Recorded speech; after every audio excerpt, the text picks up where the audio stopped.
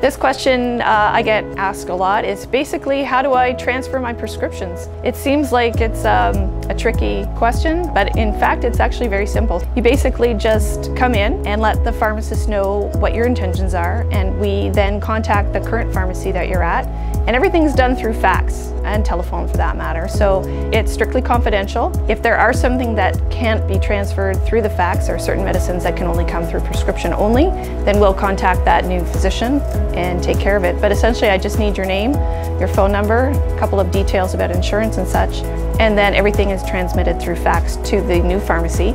We then put it on hold or take all that information, create a profile, and we wait for your direction to see where you'd like to go and how you'd like things to be dispensed and we're happy to take over at that point.